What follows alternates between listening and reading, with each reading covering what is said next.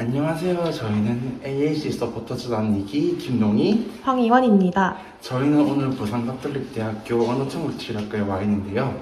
AAC에 대한 교수님의 의견을 들어보고자 인터뷰를 하러 왔습니다. 그럼 이제 교수님을 뵈러 연구실로 가보겠습니다. 여기가 바로 박희준 교수님 연구실입니다. 교수님 안녕하십니까?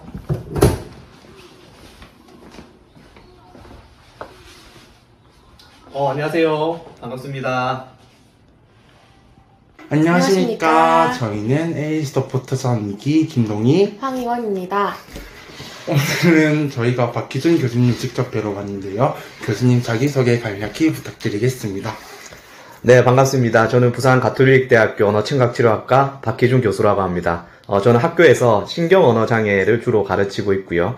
또 신경 언어 장애 중에서도 이 중증 같은 경우에는 특히 어, 말로 표현을 못하는 분들이 많아서 현재 저도 보안 대체 의사소통 연구에 관심을 많이 갖고 지금 현재도 연구 중이고 또한 제가 부산 가톨릭대 언어청각치료학과 교수로 재직 중이기도 하지만 저희 학교 소속의 학교 기업 언어 청각 치료 센터를 같이 운영하고 있습니다. 그래서 제가 센터장으로 그 업무도 병행하고 있고 저희 센터에는 어, 중증 내성 마비로 지금 실제로 AAC를 적용하고 지금 치료받고 있는 대상자도 있습니다. 그래서 이 AAC 서포터즈에게 어, 제가 조금이나마 도움이 되었으면 좋겠습니다.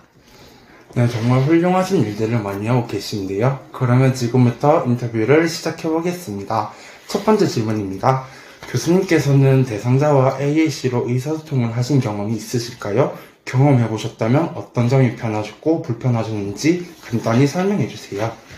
네, 저도 앞서 소개할 때 말씀드렸듯이 어, 신경 언어 장애라든지 또는 내성마비라든지로 해서 이 구어로 의사 표현을 잘 못하는 대상자들에게 이렇게 의사 소통을 하거나 뭐 언어 재활을 하거나 많이 해봤습니다. 그래서 어, 했을 때 일단 편한 점은 뭐냐면 여러 대상자가 있지만 제가 기억에 남는 것은 어, 우리가 무발하라고 얘기를 하죠. 구어로 전혀 의사소통 못하는 그런 대상자 같은 경우에 특히 어, 어떻게 이렇게 손가락도 움직일 수가 없고, 그 다음에, 어, 할 수 있는 거는 턱을 조금 움직이는 정도, 이렇게 하고, 뭐, 눈을 깜빡이는 정도, 전혀 발성이 되지 않고, 다리나 팔도 움직이지 않아서 전혀 의사소통이 되지 않은 친구가 있었습니다. 그래서 어떻게 보완대체 의사소통을 시켜줄 수 있을까? 이렇게 해서 간단하게 우리 입에 어떤 실을 물고, 요 실을 살짝 당기면 이렇게 띵동 하는 차임벨 소리를 들리게끔 해서 이 띵동은 어, 이제 소리를 대신하는 보안 대체 수- 수단으로 뭐 이렇게 엄마라고 부르는 소리라고 우리가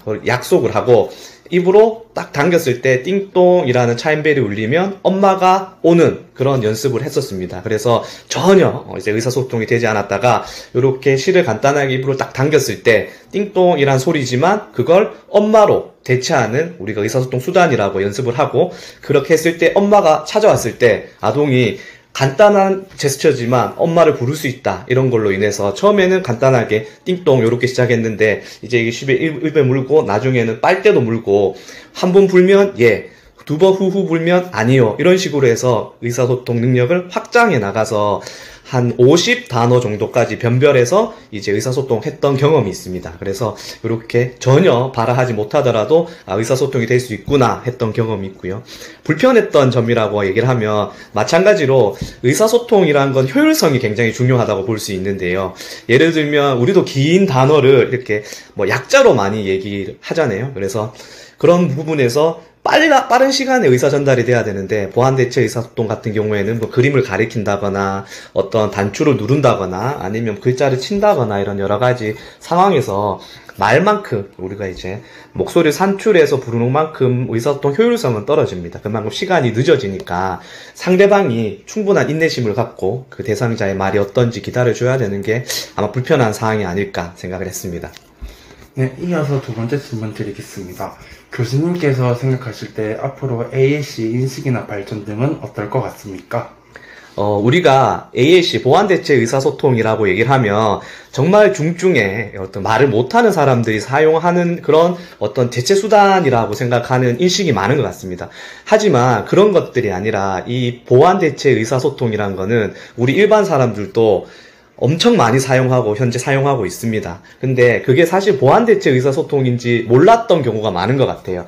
그래서 쉽게 제가 하나를 예를 들면 제가 만약에 일본이나 미국에 방문을 했다 이렇게 하면 제가 일본어를 모르고 영어를 모르면 어, 의사소통이 안 되니까 모든 활동을 못 할 것 같지만 우리는 미국을 가더라도 지하철을 타고 화장실을 가고 슈퍼를 가고 다 할 수 있습니다. 왜 그러냐면 우리가 그 상징이라는 말 대신에 보안 대체 수단이 다 공통적으로 사용하는 게 있습니다.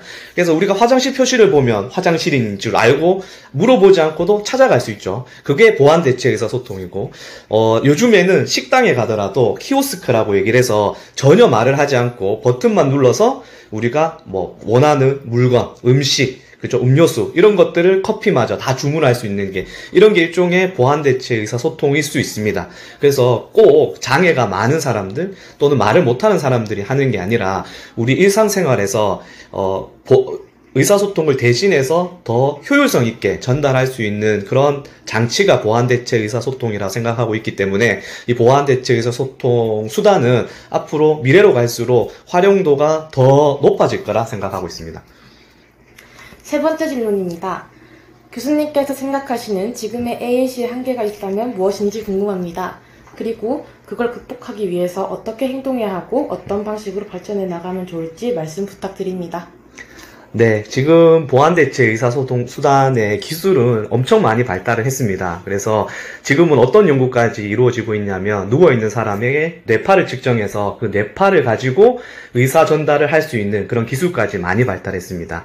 하지만 한계점이 무엇이냐 하고 이렇게 물어보셨는데 이 대상자들에게 보안대체 의사소통을 적용하는 데 있어서 받아들인 사람의 어떤 제약이 있는 것 같습니다. 그리고 주위 시선이 안 좋은 게 있는 것 같습니다. 그래서 보안대체 의사소통을 사용한다고 얘기를 하면, 아, 중증의 장애가 있구나. 또는 우리 아동은 어떤 보안대체 의사소통보다는 구호로서, 말로서 표현하게 하고 싶은데, 이런 보안대체 의사소통을 사용하지 않겠다 하는 이런 인식이 많은 것 같습니다. 그래서 그런 많은 인식들로 인해서 보안 대체 의사소통 기술은 계속 날로 발전하고 있지만 사용자가 크게 생각보다는 없는 것 같습니다. 그래서 어떤 기술적인 발달을 우리가 이루는 것보다는 이런 소포터즈처럼 보안 대체 의사소통을 받아들이는 사람들에 대한 인식 개선이 우선이 돼야 될 것 같습니다. 그래서 실제 보안 대체 의사소통 사용하는 사람들뿐만 아니라 보안 대체 의사소통을 사용하고 있는 사람들의 말을 들어주는 우리 일반 청자 같은 경우에도 충분히 기다려주고 보안 대체 의사소통도 우리 어떤 의사소통 수단의 한 가지 방법일 뿐이다 생각하는 그런 인식 개선이 가장 중요할 것이라 생각합니다. 네. 일반인들은 AAC를 잘 모를 수 있는데 서포터즈를 비롯하여 다른 방식으로 AAC를 홍보하는 방법이 뭐가 더 좋을지 말씀해 주시기 바랍니다.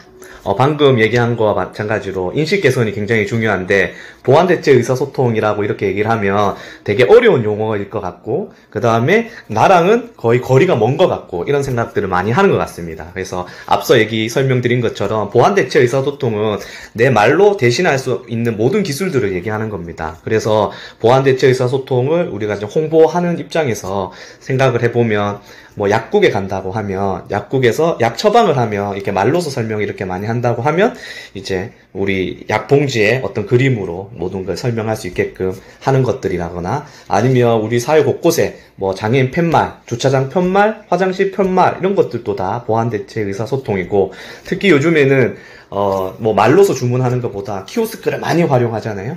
그래서 실제 제가 연구를 하고 있는데 특히 노인 집단에서는 그 키오스크를 이용해서 주문을 거의 잘 못하고 계십니다. 그래서 그런 것도 보안 대체 의사소통 수단이니까 어, 깊게 우리가 장애에 국한되지 말고 이 노인들이라든지 일반 사람들한테도 이 보안 대체 의사소통을 소개할 수 있는 그런 키오스크를 만들어서 한번 체험시키게 한다거나 이 키오스크를 가지고 한번 말 없이 주문해보게 한다거나 이런 연습을 해보면 아 이렇게 주문하는 게 처음이 어렵지 몇 번 주문해보면 쉽기 때문에 키오스크가 굉장히 많이 발달했겠죠.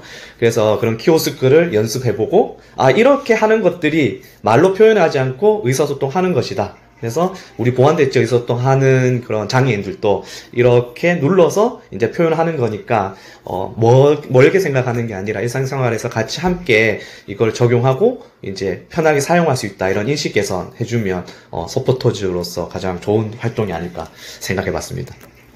네. 마지막으로 AAC 홍보를 위해 노력하고 있는 AAC 서포터즈단 이기에게 한마디 부탁드립니다. 네, 보완대체 의사소통이라는 게 아직 생소한 학문이기도 하고, 아직까지 많이 전공하는 사람도 없고, 좀 모르고 있는 사람들이 많습니다. 그래서 지금, 어, 서포터즈 이렇게 발대를 했기 때문에, 어, 하다 보면 지칠 수 있는데, 어, 지치지 말고, 어, 이런 하나하나, 이런 인터뷰라든지 활동들이 보완대체 의사소통을 조금 일반인들에게 널리 알리는 길이 되지 않을까. 그래서 이런 뭐 짧은 영상이라든지 요즘 뭐 유튜브, 인스타, 이런 데 다양한 데 올려서 많은 사람들이 좀 보안대체 의사소통에 관심을 가지고 이제 뭐 지켜봐 줄 수 있는 그런 조금 활기찬 서포터즈가 되길, 어, 뒤에서 열심히 응원하겠습니다. 네, 지금까지 인터뷰해주신 박희준 교수님에게 다시 한번 감사드리겠습니다. 이것으로 저희는 인터뷰를 마치겠습니다. 안녕.